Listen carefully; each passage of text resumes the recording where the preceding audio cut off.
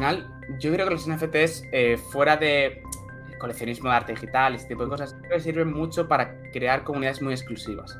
En el sentido de que sabes perfectamente quiénes son esas personas em, y al final es como que se junta un poco el concepto de crowdfunding, ¿no? Eh, y de inversión con el tema de ser el fan o el follower de alguien, ¿sabes?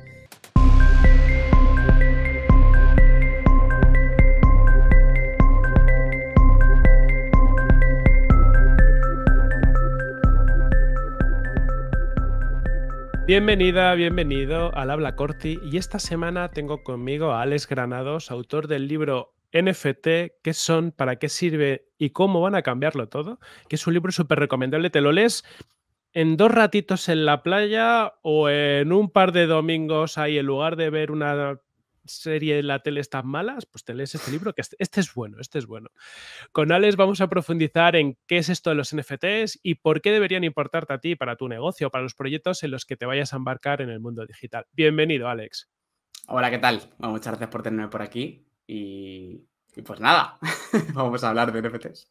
Vamos a hablar de NFTs y vamos a empezar por ahí, porque claro, yo, yo ya soy un poco friki de Web3, me falta mucho para llegar a, tu nivel, pero alguna cierta idea tengo, pero yo estoy seguro que más de uno ha dicho, esto de los NFTs, ¿qué narices son? Cuéntanos, ¿qué son los NFTs? Bueno, pues em, básicamente yo lo explico de dos formas siempre, eh, además en el libro lo hago de esa manera, y una es un poco más la definición de diccionario, el por qué se llaman así, y otro es más para que lo entendamos todos. Entonces, em, básicamente NFT todo el mundo sabe, yo creo a esas alturas, que es token no fungible. Em, y bueno, y aquí viene la parte un poco más explicativa, que token básicamente es la representación, eh, o sea, es una cosa que representa otra cosa, ¿vale? Por ejemplo, siempre pongo el mismo ejemplo porque me parece que es muy visual. Un billete de 5 o 10 euros es un, podría ser un token. ¿Por qué? Porque es un algo, es un papel que representa algo, en este caso un valor monetario. Eh, si lo piensas, es un papel, o sea, no tiene más, ¿no? O sea, le damos valor porque le damos valor. Eh, pero un billete es un ejemplo de algo fungible. Eh, ¿Por qué? Porque esto de fungible o no, básicamente significa que algo es totalmente único o no. por ejemplo, un cuadro que, yo qué sé, la Mona Lisa, la original, es totalmente único, es algo no fungible, ¿no? Y sin embargo, un billete, pues eso, si yo te doy 5 euros eh, a ti te lo presto y tú me devuelves otro billete de 5 euros, pues es algo no fungible. O sea, es algo fungible, perdón. Es algo que es totalmente intercambiable. O sea, nos da igual cuál sea, ¿no? Con que tengamos ese valor monetario, pues perfecto, ¿no? Entonces, eh, como sé que la gente siempre se queda igual con esta definición, porque dices, ok, no, está muy bien, pero ok, em, lo explico de, de la siguiente forma también. Básicamente, yo entiendo los NFTs como si fuera un CD virtual y un ticket. Y básicamente es un CD virtual porque al igual que en un CD tú puedes grabar lo que, el archivo que quieras, pues con los NFTs ocurre parecido, ¿no? Un NFT se crea en la blockchain, que es una base de datos que está en todo el mundo, ¿no? Eh, como si fuera un servidor casi.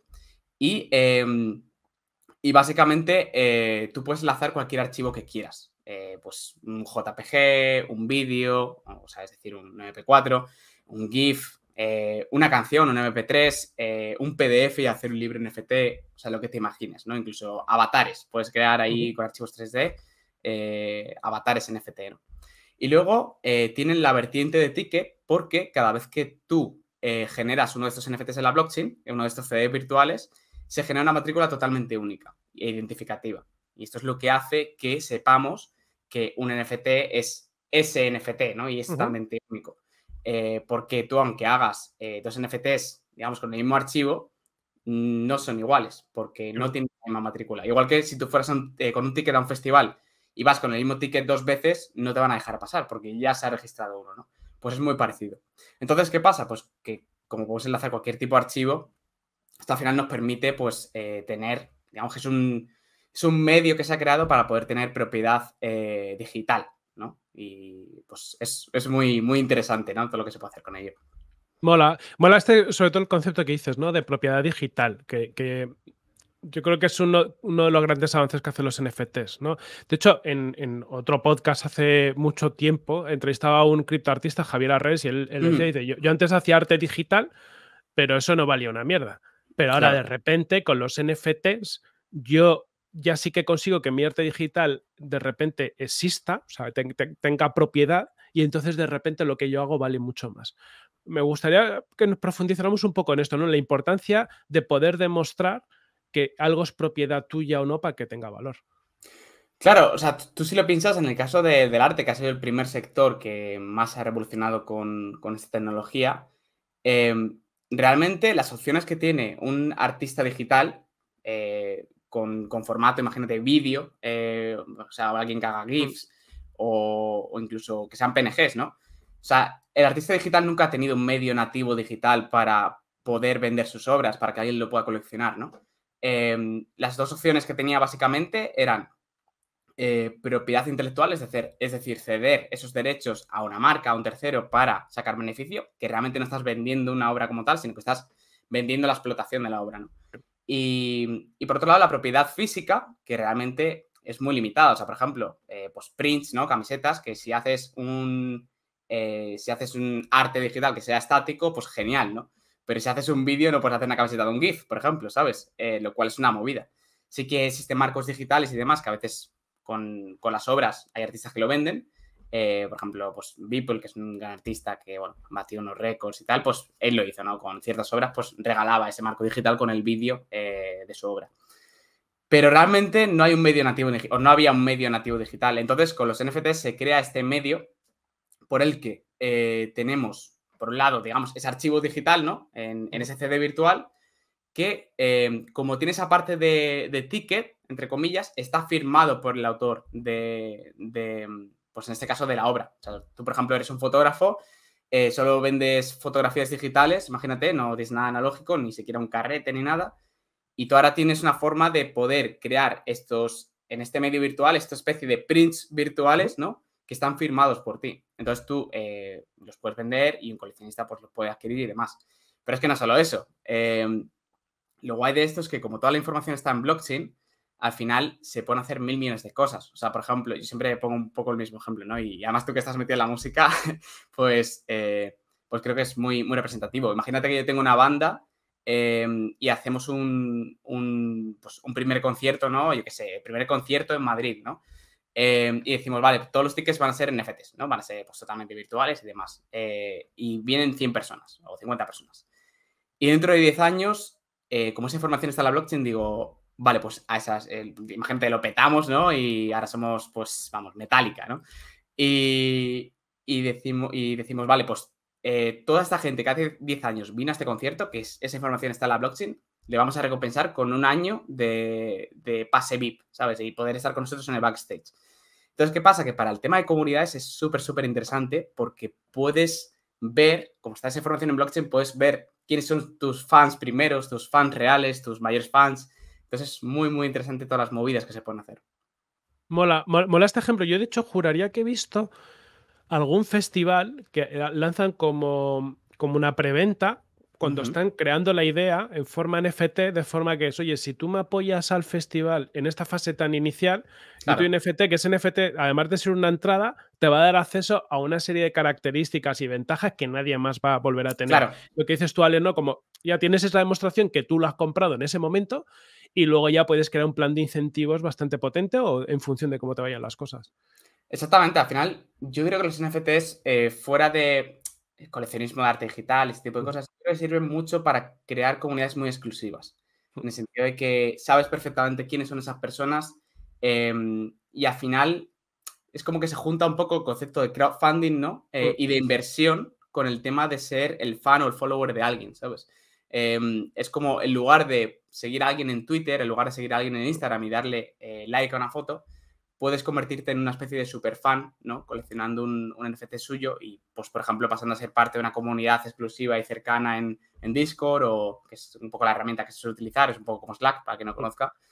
Y, bueno, pues al final obtener ciertas ventajas exclusivas, ¿no? Y yo creo que es, son conceptos muy interesantes. Creo que a día de hoy, obviamente, hemos empezado hace muy poquito con esto y ahora estamos en fase de copiar ideas, digamos, más Web 2 y pasarlas a Web 3. Es decir, por ejemplo, hay mucha plataforma que se vende como el Spotify eh, del Web 3, ¿no? El no sé qué del Web 3. Entonces, yo creo que ahora estamos en esa fase de copiar y pegar un poco, ¿no? Y cambiarle, meterle los NFTs ahí un poco forzadamente. Pero yo creo que vamos a ver cosas muy únicas en los próximos años, eh, como ha pasado con el Internet, ¿no? O sea, por ejemplo, el Internet al principio, pues al final lo que se duplicaba, entre comillas, un poco era ese periódico, ¿no? Básicamente.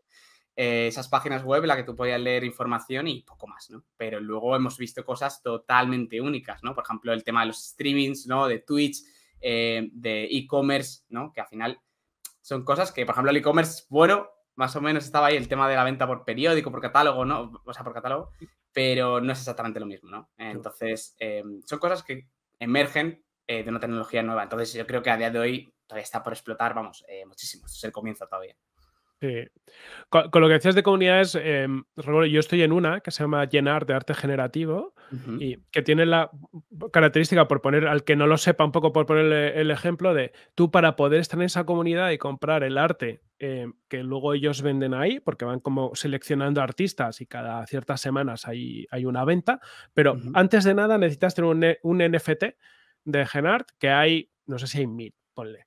Entonces, es una cosa curiosa, tú ya necesitas tener un token de eso, si no estabas en su día para comprarlo cuando lo lanzaron, lo tienes que comprar en un mercado de segunda mano, que luego entramos en esa, en toda esa parte de los mercados de segunda mano y demás, que también es muy interesante, y una vez que lo tienes ya puedes acceder a eso. Entonces, ya es como una entrada VIP a un sitio que para poder acceder tienes que tener un, un cierto interés. Y luego, justo esto que está conectando, ya nos cuenta Sales. Una de las gracias es que existen mercados de segunda mano, cosas, sitios como OpenSea, si alguien los escucha, hay muchos otros, ¿no? Pero, pero este es muy conocido, donde de repente, cuando tú quieres comprar algo, a veces hay NFTs que son únicos, sacamos 100, se venden todos. ¿Dónde puedo comprar uno? Bueno, pues el, el Wallapop de, los NFTs es esto, ¿no? Te vas a OpenSea y de repente hay un mercado de segunda mano. Eh, cuéntanos un poquito sobre esto y también un poco lo que te permiten los NFTs de que el autor o la persona que lo ha vendido siga cobrando cuando hay sucesivas ventas, si quieren, y este tipo de modelos de incentivos. Bueno, esto es algo que siempre, no sé por qué siempre que explico los NFTs es como que se lo, doy por, hecho, pero como que es algo súper potente, ¿no? Mm. Eh, bueno, de primeras, em, digamos que la gracia también de los NFTs es que eh, es como si fuera una especie de archivo interoperable, ¿vale? En el sentido de que, o que tiene un formato interoperable. ¿Y qué significa esto? Pues em, Básicamente, tú cuando estás en un ecosistema de blockchain, es decir, por ejemplo, Ethereum es una de las mayores blockchains. Em, y esto de los, ecosistemas lo explico un poco como estar en Windows, ¿no? Como estar en, Linux. Eh, tú, por ejemplo, cuando estás en Windows, pues tienes acceso a una cantidad de programas y usas un tipo de archivo, eh, unos tipos de archivos que son interoperables en todo Windows, ¿no? Incluso a nivel general, interoperables con Mac y demás. Eh, ¿Qué pasa? Con los NFTs ocurre algo parecido es como que tú con tu NFT puedes ir a, por ejemplo, a cualquier marketplace que, tenga, en el que te permitan vender eh, en, venta secundaria, ¿no? Puedes ir a OpenSea, puedes ir a LuxRare, puedes ir a Rarible. Entonces, es este concepto un poco de interoperabilidad y descentralización, ¿no? En el sentido de que eh, yo no estoy limitado a una sola plataforma, sino que puedo ir a la que yo quiera y bajo las condiciones que a mí más me, me, me molen, ¿no? O sea, por ejemplo, lo mismo una plataforma dice, pues nosotros por vender con nosotros eh, te vamos a cobrar un 5%. Y hay otra que dice, pues nosotros son 2. Pues dices, venga, pues me voy a la del 2. Entonces, mola porque no te limitas solamente a una plataforma, sino que puedes elegir libremente, incluso también con herramientas. O sea, por ejemplo, hay eh, galerías como OnCyber, en la que tú puedes crear, eh, esta plataforma en la que tú puedes crear una galería virtual, em, en la que puedes hacer, cualquiera puede hacer con un link. Entonces, detecta los NFTs que están en tu, en tu wallet, ¿no? En tu billetera digital y puedes poner los que quieras. Entonces es una forma de compartir lo que has comprado, por ejemplo, ¿no? Y, mola mucho. Entonces ese concepto de interoperabilidad mola muchísimo. ¿Qué pasa? Que, cuando existe la primera venta de unos NFTs, eh, básicamente luego se pasa a estas plataformas secundarias, ¿no? Que son principalmente, la mayor es OpenSea, es como de tamaño, es como decir el Amazon o el eBay de los, los NFTs. Y, em, y, bueno, pues lo más guay que tienen esto de los NFTs es que al final son líneas de código todo y están en lo que se llaman smart contracts. Básicamente es, yo siempre lo explico como si fuera un mini programita, como si fuera una carpeta de proyecto que es un mini programa. Y, eh, y tus NFTs están dentro de ese smart contract, entonces tú puedes decir, vale, pues por cada reventa que haya eh, sobre este NFT, em, voy a cobrar un 5% o un 7%. Y eso como es código, digamos que entre comillas, porque a día de hoy tampoco es algo pues, inquebrantable, em, pero básicamente tú, digamos que no puedes eh, salir de eso, ¿no? O sea, tienes que pagarlo, aunque hay gente que siempre echa, echa la trampa, puedes transferirlo y pasar dinero y tal, pero es más inseguro, ¿no? Entonces, a ver, técnicamente se puede saltar, pero bueno. Em, Entonces, está muy guay esto porque permite crear eh, nuevos modelos de negocio, ¿no? O sea, por ejemplo, yo a día de hoy visualizo los NFTs como si fuera una, especie de, caja de valor a largo plazo, ¿no? O sea, tú, por ejemplo, eres un influencer o si tienes una marca y tal, y todo lo que vayas aportando de valor a largo plazo con ese NFT, pues, por ejemplo, imagínate, soy un influencer y lanzo 100 eh, NFTs. Entonces, esas 100 personas, si pongamos que los ha comprado una cada uno, em, pueden, por ejemplo, acceder a un evento anual eh, pues cada año, esa es su entrada, ¿no? Eh, eh, mi NFT. O, por ejemplo, voy a decir, pues a 20 de ellos les voy a dar acceso a contenido exclusivo en mi web, ¿no? Entonces tú te lo veas con tu, con tu wallet de mi web, detecta que tienes ese NFT, entonces te enseño contenido exclusivo, ¿no? Cursos exclusivos o, lo que sea. y así sucesivamente, ¿no? O sea, puedes ir dando valor y lo guay es que cuanto más valor generes a largo plazo, de primeras, el comprador que ha invertido en ti, porque al final está invirtiendo en ti, em, joder, se beneficia, ¿no? Si luego lo puede revender y resulta que tú te conviertes en el mayor influencer del mundo, eh, pues se está beneficiando porque puede eh, revender ese NFT decir, vale, yo invertí en esta persona y ahora pues me saco beneficio de haber creído en esta persona, ¿no? Pero luego tú sigues recibiendo beneficios de, estar aportando valor a, a largo plazo y que la gente revenda eso, ¿no? Entonces también te interesa que incluso se revenda. Entonces es súper, súper interesante eh, porque ya te digo, se pueden crear modelos muy distintos del modelo de suscripción típico que vemos mm. con Patreon o con cosas así y, hacer cosas muy, muy, muy guays. Y partiendo además de un crowdfunding inicial, ¿no? En el que te han comprado, digamos, todos los NFTs, entonces tienes una, una base sobre la que poder trabajar. Entonces se pueden hacer millones de cosas y ya hay gente muy, muy tocha. Yo siempre pongo el mismo ejemplo porque soy súper fan de Gary Vaynerchuk, eh, que hizo algo así, ¿no? Con su, con su colección, que lanzó como, creo eran 10.000 NFTs. Y lo mismo, hizo eh, un evento durante tres años, eh, lanzas, o sea, el ticket, o sea, perdón, el NFT es el ticket de entrada y solamente, solamente, solamente pueden entrar las personas que tengan estos NFTs, ¿no? durante esos tres años. Entonces lo lanzó por un precio muy, muy bajito, pero es que luego con las reventas ha ido sacando un dinero, ¿no? Eh, y además, si el primer año el evento lo peta y todo el mundo quiere el segundo, pues mm, tanto tú por haber invertido te beneficias como el propio creador. Entonces, súper interesante. Es que esto es muy chulo. Yo te digo, porque cuando entrevistaba a Javier Arresca, como eras artista, me decía, que tú antes en la historia, cuando tú hacías un cuadro y lo vendías, tú ya no sabías nunca más qué pasaba con ese cuadro. O sea, ese cuadro, el que te lo ha comprado, pues a lo mejor lo quemaba, se lo vendía a 50 personas, iba pasando por 50 personas y tú ni lo sabías ni veías un duro. Pero claro, ahora tú puedes programarte sobre un smart contract y decir, oye, cada vez que se revenda mi cuadro, yo me llevo un 5% o lo que sea. Y de repente tienes la trazabilidad de saber cuántas, por dónde está tu cuadro, que esto como artista, como creador, como influencer, el caso que has dicho tú, Alex, ¿no? De, oye, yo vendo esos 10.000 entradas, pues que además sé en todo momento quién las tiene, el mercado que hay, el market cap, ¿no? El, cuando lo lancé valía 100.000, pero es que ahora vale 10 millones. Puedo entender casi el, el, valor que me está aportando ahí. Es que es un nuevo paradigma todo esto. Total. Y, luego además te da ciertas utilidades. Por ejemplo, eh, las wallets eh, generalmente, bueno, generalmente, no se puede cambiar la, digamos, la mm. contraseña. Es que es un poco, el término es un poco raro, pero bueno, es como que hay una frase, ¿no? tú lo sabrás obviamente, de 12 palabras, ¿no? O, depende de la wallet, eh, que son como tu clave que no se puede cambiar para entrar a esa wallet, ¿no? Entonces, tú técnicamente, y esto yo lo, yo lo he vivido, em, puedes dar acceso, imagínate, a un curso mediante un NFT y sí, se puede transferir este NFT a otra persona y tal, pero hay gente que comparte, por ejemplo, eh, logins, ¿no? Para cursos, entonces, yo qué sé, lo mismo van a medias y tal. yo soy culpable, alguna vez lo he hecho.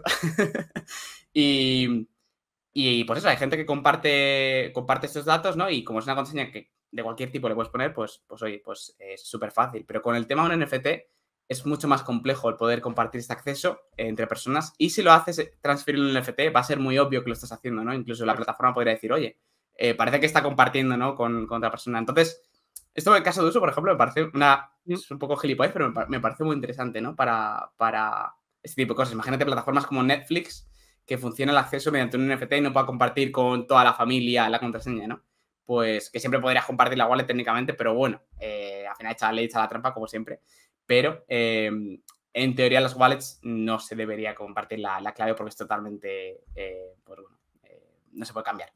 Entonces, me parece un caso de uso interesante, por ejemplo. Mola. Hablando de casos de usuarios, eh, desde la perspectiva sobre todo de, negocios digitales, em, ¿qué, tipo de aplicaciones se, te ocurren o has visto tú que se estén utilizando los NFTs?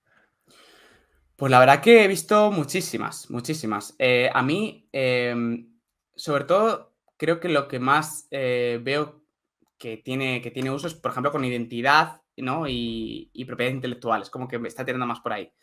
Eh, un ejemplo que estoy poniendo mucho porque me parece súper interesante es el caso de un proyecto que se llama VoiceVerse, em, en el que lo que han hecho es básicamente, digamos que ellos crean un NFT, ¿vale? Y, o una serie de NFTs. Entonces, cada NFT, digamos que contiene, eh, de distintas maneras, eh, la voz, o sea, es decir, el timbre, ¿no?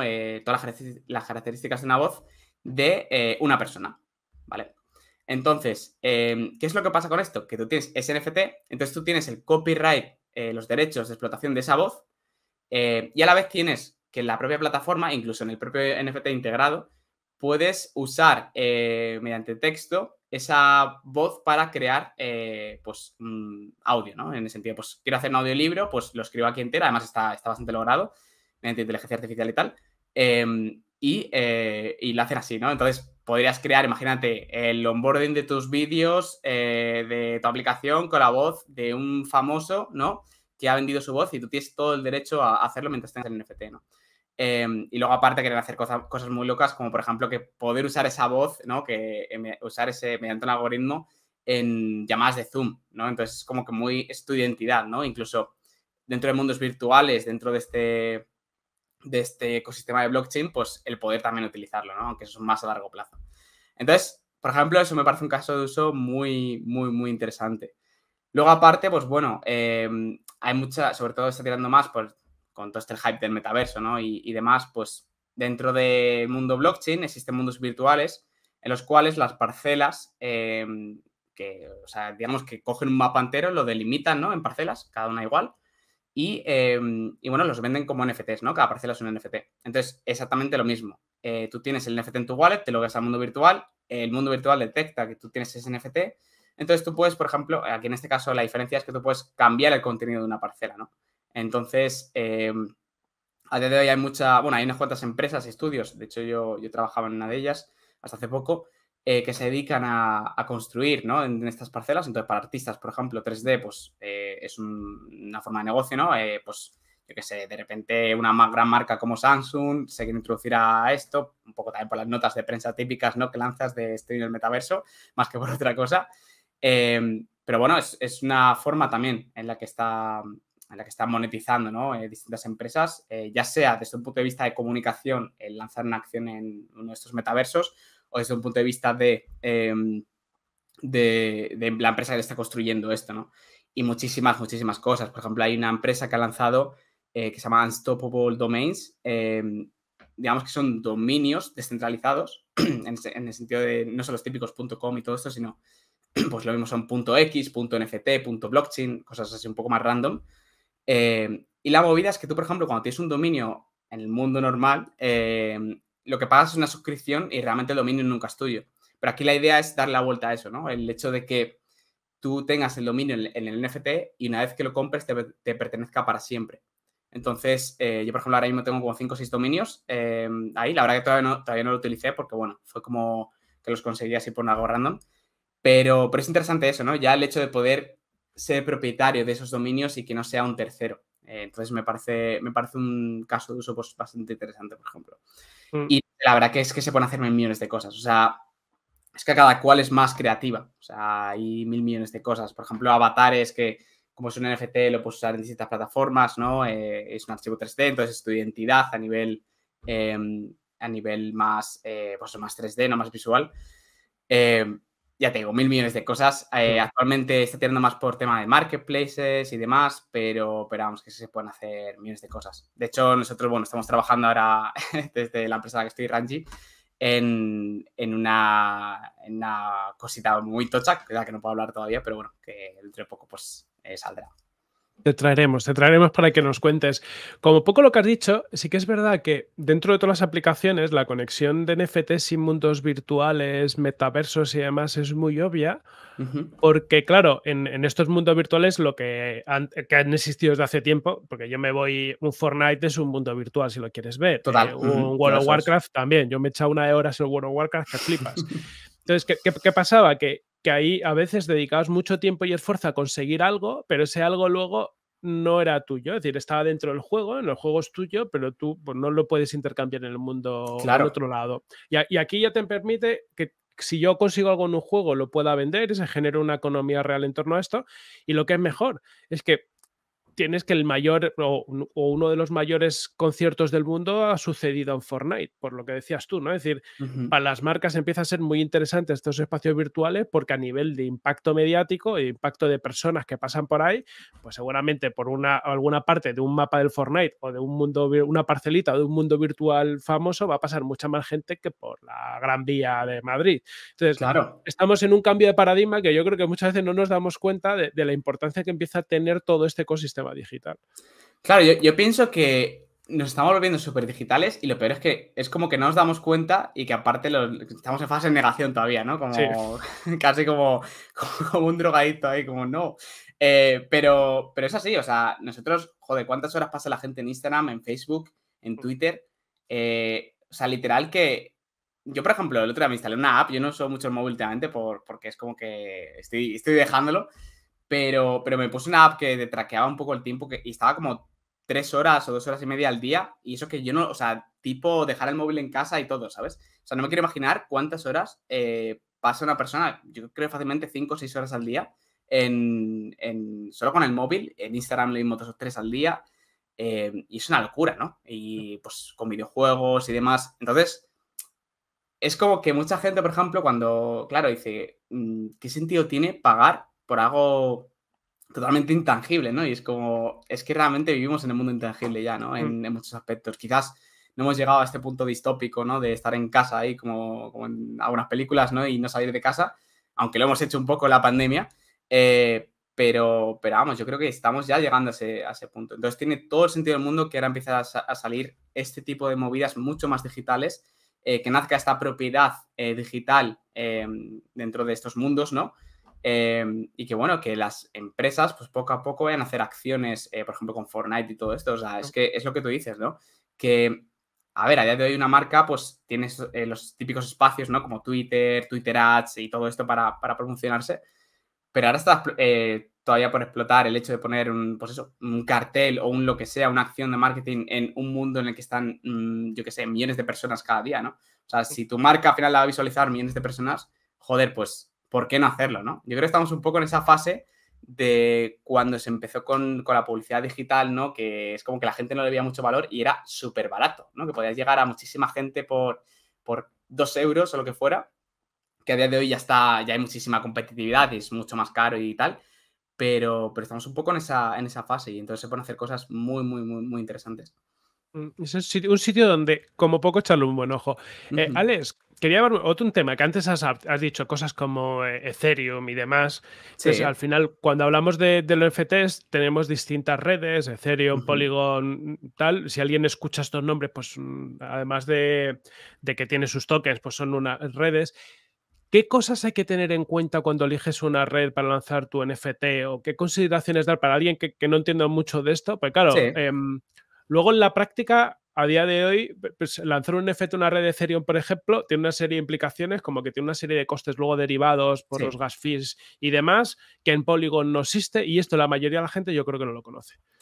Vale, pues eh, como decía al principio, al final, cuando hablamos de, blockchains, em, estamos hablando pues, de ecosistemas ¿no? y, de, y de redes. O sea, eh, en el sentido de que, al igual que pasa con Mac, que pasa con Windows, si tú eliges uno de estos sistemas operativos, uno de estos ecosistemas, eh, vas a tener ciertas limitaciones y ciertas ventajas. Por ejemplo, si yo me pongo Windows, pues me puedo instalar básicamente cualquier programa. Si tengo Mac, pues seguramente esté más limitado, ¿no? Y tenga que buscarme más la vida.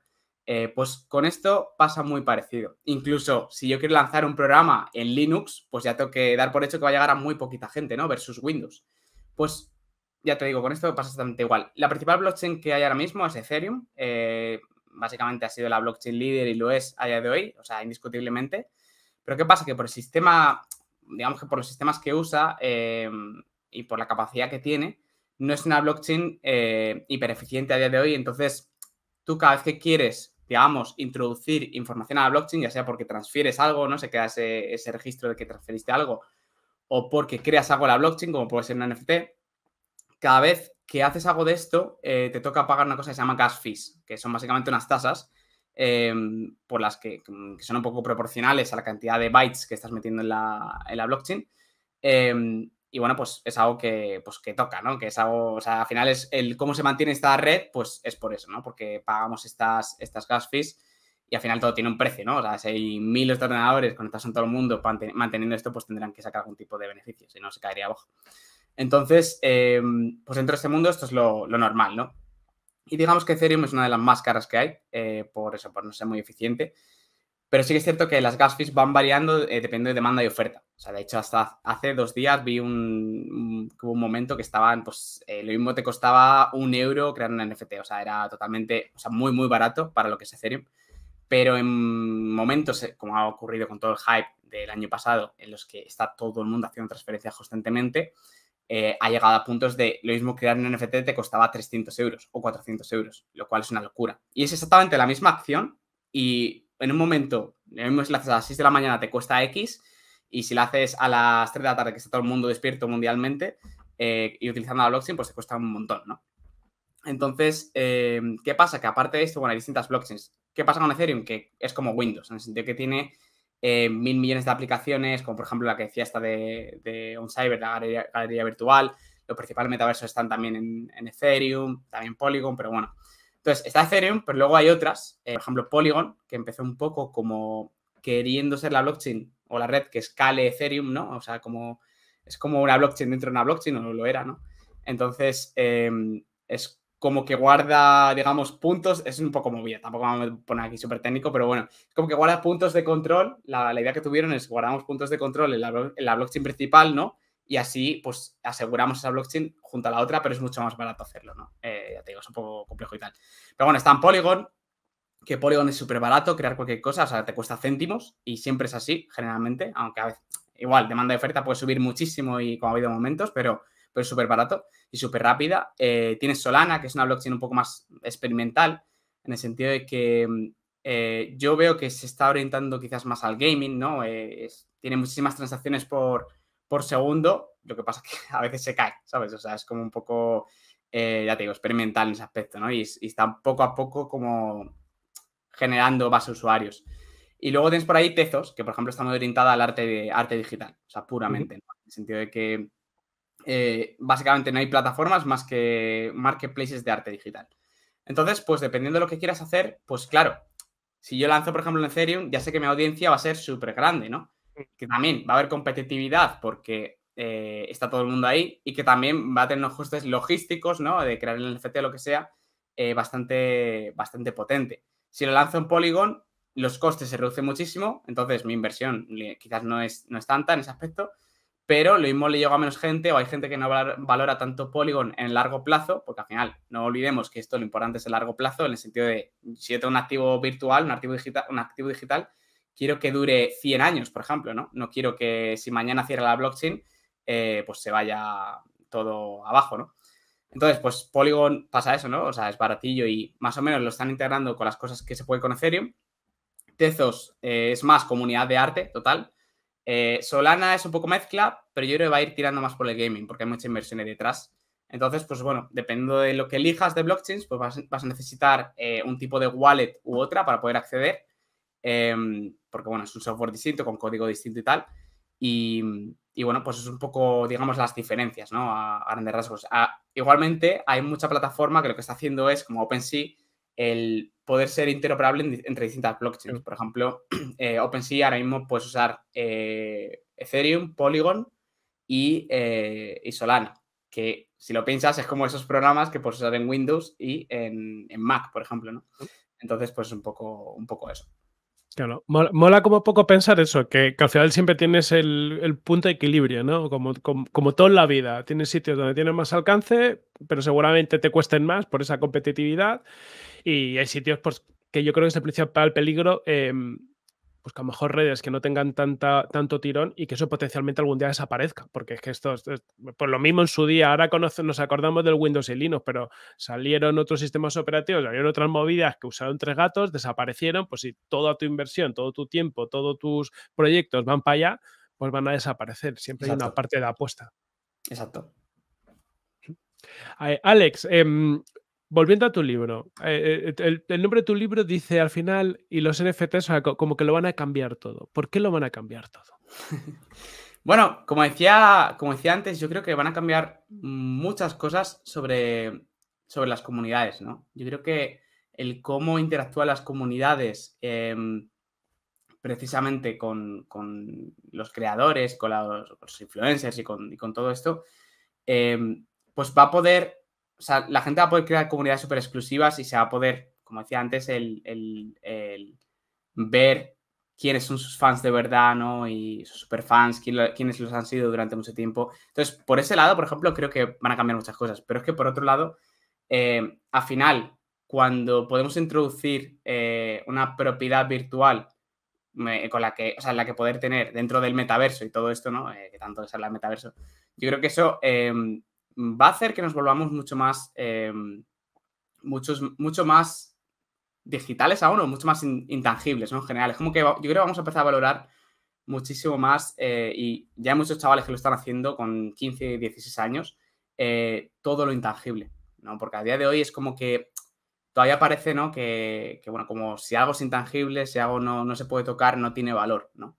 Eh, pero yo creo que van a cambiar mucho el cómo nos relacionamos con el, con el mundo digital. Yo creo que va a ser un proceso lento, em, pero mm, yo creo que en 10 años vamos a estar, va a estar bastante presente en nuestras vidas todo, todo esto. Igualmente, yo creo que los NFTs también van a, van a mejorar muchos procesos que actualmente pues, son bastante NFTs para blockchain, ¿vale? En, en este aspecto pero van a, van a mejorar muchos procesos que actualmente son súper lentos por pura burocracia. Eh, por ejemplo, hay algo de lo que hablo en el libro, que es el tema de los eh, bienes inmuebles, ¿no? Eh, técnicamente los NFTs tienen como la receta perfecta para poder encajar como si fueran escrituras, ¿no? En el sentido que es un certificado digital que está en la blockchain, que no se puede modificar. entonces, imagínate hacer eso de una escritura y poder vender una casa en dos minutos cosa que a día de hoy tardas lo mismo un mes o dos meses, dependiendo de en qué mes te pille también, ¿no? En agosto, por ejemplo, pues mal. Eh, entonces, yo creo que van a cambiar muchas cosas, eh, pero sí que es cierto que, como digo en el libro, eh, al final todo lo que hablemos ahora es pura especulación, ¿no? Porque mm. realmente quien te diga que, que, sabe perfectamente lo que va a pasar no tiene ni idea, porque realmente esto puede tomar muchas formas y, y también va muy ligado al tema de regulaciones, porque al final esto, por ejemplo, es una base de datos que no depende de, nadie, es como que depende de las comunidades que, la mantienen. Entonces, pues con el tema de criptomonedas, todo esto, veremos a ver los gobiernos también cómo actúan, ¿no? Por ejemplo, con el tema de los bienes inmuebles, yo creo que sería genial eh, que se pudiera hacer esto, pero no creo que con el monopolio que hay de notarios y todo esto quieran eh, decir, venga, pues nos quitamos y le dejamos esto a la blockchain. No creo, por ejemplo, no.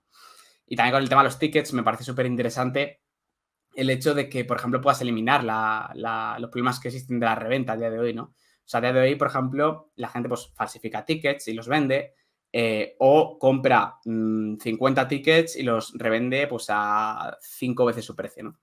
Entonces, con los NFTs te podrías asegurar de eliminar esos dos problemas porque existe esa trazabilidad, ¿no? Por ejemplo, em, si vas a comprar un ticket de NFT, sabes perfectamente de quién viene ¿no? o debería saberlo, eh, si todo es toda la, usabilidad es, fácil, ¿no? Que no es súper fácil y por eso he tenido que escribir este libro, ¿no? Eh, y luego, por otro lado, como todo es código, podrías decir, pues programo eh, que no haya, que no exista reventa, ¿no? O sea, que tú no puedas revenderlo o no puedas revenderlo a más de X, ¿no? Sobre todo vamos por ahí. entonces, pues se pueden hacer muchas cosas y, y, yo creo que van a cambiar muchos aspectos pero también a, nivel cultural sobre todo, ¿no? El, sobre todo el entender que podemos tener cosas digitales. Es un poco como, como muy meta, ¿no? En el sentido de, que en sí mismos van a cambiar nuestra percepción sobre ellos, ¿sabes? Entonces, eh, es un poco lo, que pienso sobre, mm. esto. Es muy chulo este punto, ¿no? O sea, al final es que activan la posesión digital y, te cuesta mucho lo que ha dicho es meta, porque claro, ahora mismo te cuenta mucho entender la posesión digital porque, porque no lo entendemos, ¿no? Pues, el, típico meme este de un NFT, pero si me lo puedo bajar como igual como un JPG. Claro, ¿por qué? Porque no entendemos que en digital no existe nada. Eh, pero el NFT es el primer paso que, que vete a saber si el día de mañana se llaman otra cosa, si ha habido una evolución, si se quedan como están, pero es lo que, lo primero, yo estoy de acuerdo contigo, que nos está haciendo pensar que de realmente podemos tener una propiedad digital y que eh, todo esto lo que has dicho tú, ¿no? Pues al igual que en el mundo físico tengo una escritura para un piso, pues a lo mejor esto puede ser un NFT y puedo interoperar y, de ahí surgen, de hecho tenemos varias startups españolas, en el ecosistema de Tutelus están los chicos de Rental, por ejemplo, que tienen un tema de, pues, de inversión inmobiliaria con NFTs, eh, están creando también un mercado, eh, me venía a la cabeza de de dar liquidez a los contratos, de que cosas que antes no se podían hacer ni en el mundo físico, porque claro, las escrituras son de papel que no puedes programar y que no puedes tal. Ahora, el digitalizarlo de verdad, y cuando decimos digitalizar, no se escaneo las escrituras, sino es lo que has dicho tú, Alex, que tengo unos programitas por ahí que regulan todo esto, la cantidad de cosas que puedo hacer sobre eso es, que ni se nos ocurren. Total. Yo creo que la, la gente no es consciente de la cantidad de convenciones sociales en las que vivimos actualmente. Es como que naces con ellas, ¿no? Y, no, no, te das cuenta. O sea, de hecho, yo creo que la gente se da cuenta ya cuando tiene lo mismo 50 años que ve cómo van cambiando esas convenciones sociales, ¿no? Pero, pero es eso, o sea, es que si te empiezas a preguntar y dices, mm, ¿por qué tiene valor un NFT? Y dices, joder, ¿por qué tiene valor el oro? ¿No? En el sentido mm. de, ¿por qué eso es el valor seguro, ¿no? Eh, o ¿por qué le damos valor a un billete? ¿Por qué le damos valor a X? Al final es por pura convención social sea, si el día de mañana cabe una bomba atómica eh, y tenemos un millón de, euros en efectivo en nuestra casa, seguramente no nos sirva para absolutamente nada. Mm. Porque nadie le va a dar valor a eso. Entonces, em, yo creo que esto cada vez va a ir cambiando más generacionalmente, ¿no? En el sentido de que a día de hoy, como tú decías, con juegos como Fortnite, eh, hay muchos chavales que, con 15, 16 años están. Eh, final, lo que están mostrando es estatus, ¿no? Dentro de esos mundos virtuales, teniendo unas skins eh, o un aspecto específico, ¿no? Es el yo tengo esto y tú no lo tienes. O es una forma de expresarse eh, ellos mismos. Entonces, yo sé de muchos chavales, a mí me lo han dicho bastantes padres, que estaban pidiendo por Navidad skins de, de Fortnite, ¿no? Por ejemplo, o armas en Fortnite o lo que sea. O sea, sí, skins básicamente. Entonces, em, yo creo que es súper interesante cómo se va, a desarrollar todo esto. Em, y bueno, pues veremos también el cambio cultural que, pega, ¿no? Pero actualmente, es que sin ir más lejos, eh, pues por ejemplo, el, cheque azul este de, Twitter o de Instagram eh, es algo, o sea, me parece un ejemplo muy bueno de lo digitales que estamos siendo y, no, no, nos damos cuenta. Por ejemplo, alguien nos sigue eh, en Instagram con un cheque azul y ya le damos una importancia brutal, ¿no? Es como, wow. Mm. ¿Y qué es ese cheque azul? Es un PNG que un programador ha puesto, si lo piensas, no es nada más. Que sí, que va ligada a que Twitter eh, o Instagram lo ha verificado, pero realmente estamos dando el valor a eso y le damos muchísima importancia. Entonces, eh, yo creo que estas cosas son indicativos de precisamente eh, cómo nos estamos moviendo a esa mentalidad poco a poco. Mm, totalmente de acuerdo. Ya para acabar, eh, volvemos a tu libro. NFTs, ¿qué son? ¿Para qué sirven? ¿Cómo van a cambiarlo todo? ¿Para quién es? ¿Y por qué deberíamos leérnoslo? bueno, pues eh, yo la verdad que suelo explicar todo como para damis. A mí me gusta que me expliquen las cosas así. Entonces, eh, el libro está básicamente hecho. O sea, si tienes un mínimo conocimiento, que yo creo que al final mm, de los 50 para abajo, 60 para abajo, bueno, 50 para abajo, todo el mundo lo tiene, un conocimiento digital mínimo, en el sentido de saber qué es un ordenador, saber qué es un navegador y saber este tipo de cosas, yo creo que lo puedes leer sin, problema. O sea, eh, explico con ejemplos, pues como CDs, tickets y cosas muy, muy, muy del día a día. Y, o sea, que está orientado para básicamente cualquier tipo de audiencia. Eh, yo creo que si eres una persona que, por ejemplo, no tiene idea sobre NFTs, está genial. Y si eres una persona que tiene algo de idea sobre NFTs, también está genial porque pues he entrevistado a gente, pues, por ejemplo, como Javier Arres que comentabas, ¿no? He entrevistado a gente em, que la verdad entiende mucho distintos temas. Eh, hay como cuatro o cinco entrevistas. Hablo también de un poco del tema de marketing dentro de este mundillo. Eh, hablo de cómo lanzar tu proyecto. Entonces, es como que es un poco para todos los públicos, ¿no? En, este aspecto. Y, bueno, el que nos podemos encontrar, pues básicamente una guía, eh, un poco paso a paso, ¿no? Desde el comienzo de qué es esto de blockchain hasta pues cómo lanzar tu proyecto de todo este mundo de los, de los NFTs, ¿no? Entonces, eh, también hablo de herramientas, que yo soy súper fan de distintas herramientas y tal. Eh, de hecho, tengo un Notion gigante con, con, muchísimas herramientas y creo que es, mola mucho, ¿no? El tener esas herramientas de referencia para poder utilizar. Y incluso al final tengo un diccionario eh, para, porque en este mundillo hay como mucho, mucho lenguaje muy único. Es como cuando nos metemos en marketing, ¿no? Que si funnel, que si no sé qué. Pues esto es parecido, ¿no? Entonces, para poder entender un poco, pues, de qué va, o sea, cada cosa, ¿no? Y de qué habla la, la gente. Entonces, es lo que digo, eh, un libro para que todo el mundo lo pueda entender, eh, divulgación extrema, y, también para los que ya tienen un pie dentro, pues que, haya cosas útiles para ellos. Mm, totalmente de acuerdo. Además, yo ya le he dicho a Alex, yo me quedo con la parte de cómo crear tus propios NFT paso a paso. O sea que en breve, en breve se vienen cositas, que se dice, se dice en el fundillo. Alex, eh, muchas gracias por este ratito, muchas gracias por el libro, que hace falta divulgación sobre estas cosas que escribas otros o que la líes con lo que estás haciendo, que sigues en el mundillo NFT, pero que sigas creando y empujando este ecosistema que, nos tiene que traer muchas cosas todavía. Bueno, pues muchas gracias a ti y bueno, gracias por el espacio. Nada, un placer y ya sabéis todos, a comprarse el libro de Alex, eh, NFT, que son, para qué sirven y cómo van a cambiarlo todo, porque se ha pegado un currazo, se lee muy fácil y se aprende mucho. Hasta la próxima semana y un fuerte abrazo.